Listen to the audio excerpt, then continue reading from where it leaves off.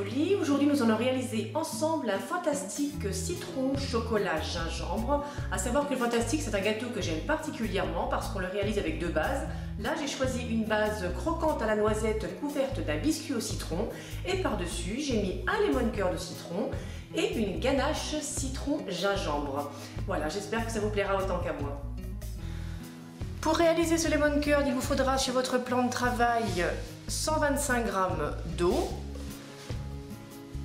30 g de beurre, comptez 20 g de fécule de maïs, 150 g de sucre, 2 jaunes d'œufs et le jus de 3 citrons.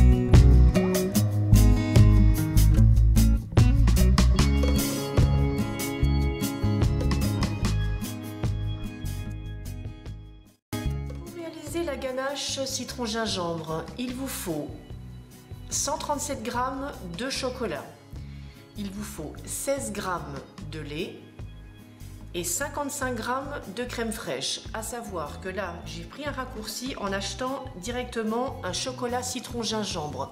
Sinon, vous prenez n'importe quel chocolat, qu'il soit noir ou au lait, de préférence noir, il sera plus corsé, et vous rajoutez dedans des zestes de citron ainsi que des petits dés, de, vraiment une très petite brunoise de gingembre frais. Alors là, comme j'ai choisi de travailler sur une petite quantité, je vais tout simplement euh, faire chauffer mon lait dans ma crème au micro-ondes. Voilà, alors là vous voyez, j'ai tout simplement fait fondre mon chocolat pareil au micro-ondes et je vais l'émulsionner tout simplement avec le mélange lait et crème chaude.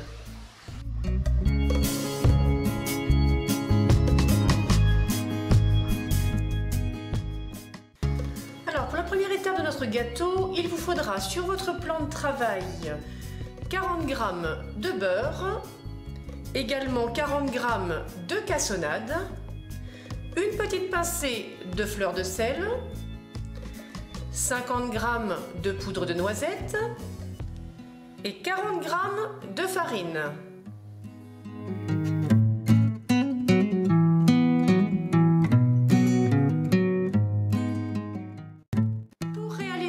Deuxième partie de votre gâteau, vous devrez rassembler sur votre plan de travail 100 g de sucre, 60 g de beurre fondu, le zeste d'un demi-citron jaune non traité, 82 g d'œufs battus, 75 g de farine, 40 g de jus de citron, et enfin, un quart de cuillère à café de levure chimique.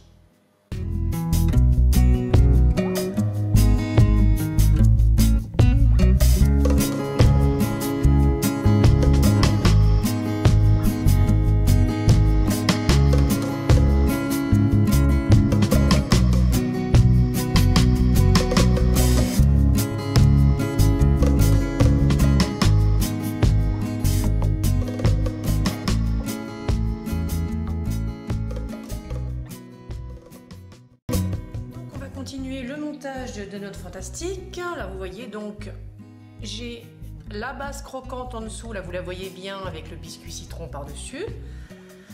Et bien maintenant, on va continuer. Donc, dans une poche à embout rond, j'ai débarrassé la ganache. Après, vous décorez selon votre envie.